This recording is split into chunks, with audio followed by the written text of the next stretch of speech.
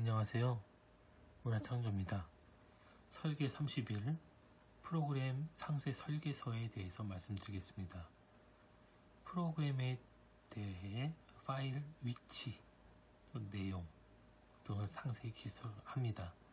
내용에는 뭐 DB connection 변수, 데이터 파일 저장 변수 이런 것들이 있는데 이거는 개발 쪽에서 주로 다루는 내용이기 때문에 여기서 정리를 해가지고 상세하게 정리해서 이거를 설계서를 작성해야 되겠습니다. 어, 그리고 공유를 한다 해도 일반 디자인 쪽에서도 파악하기는 좀 어렵고 하기 때문에 어, 원하는 뭐 부분들 그냥 이거는 보고용으로 해서 이렇게 작성하면 되겠습니다.